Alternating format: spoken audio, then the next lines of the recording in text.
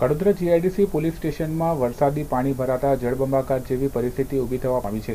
Police કર્મીઓ તળિયા, ડૂબ જેટલા પાણીમાં બેસી કામ કરવા મજબૂર બન્યા છે. પલસાણા તાલુકામાં આવેલ કડોદરા જીઆઈડીસી પોલીસ સ્ટેશનમાં વરસાદી પાણી ભરાઈ જતા પોલીસ સ્ટેશનમાં લગભગ એક ફૂટ જેટલા પાણી ભરાઈ ગયા હતા, જેથી ત્યાંના પોલીસ કર્મીઓએ પગના તળિયા ડૂબે તેટલા પાણીમાં બેસી કામ કરવાની નોબત આવી હતી.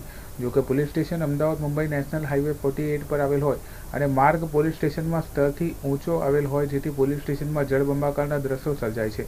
તેમજ પોલીસ રેડ દરમિયાન પકડાયેલ નશીલા પદાર્થો કરી તેને સીલ કરી પોલીસ સ્ટેશનમાં મૂકવામાં આવતા હોય તે પાણીમાં પલળાઈ જતા કામ કરતા પોલીસ કર્મીઓએ દુર્ગંધનો માર વેઠવો પડે તો કોઈ નવાઈ નથી. તો પ્રજાજનોને કપરી પરિસ્થિતિમાં સુવિધા આપનાર પોલીસ તંત્રને પણ સરકાર દ્વારા યોગ્ય સુવિધાઓ આપવામાં આવે તે ખૂબ જરૂરી છે.